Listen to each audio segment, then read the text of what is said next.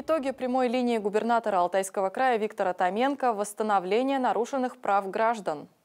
Два года многодетная семья Троценко из Ребрихинского района ждала подключения к газу. Договор со строительно-монтажной компанией истекает в этом месяце. Семья опасалась, что работы не будут завершены в срок. Обратились лично на прямую линию к губернатору.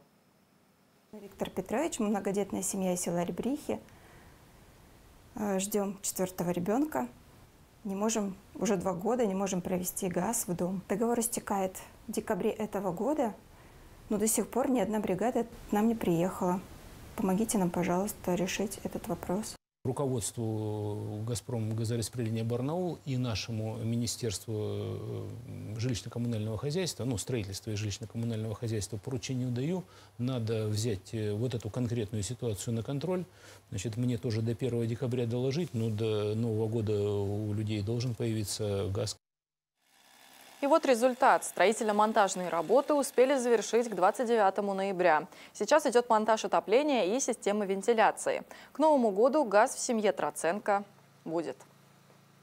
Результат появился. Пока все идет своим ходом, все работают. Надеемся, что 24 год мы будем встречать уже с газом.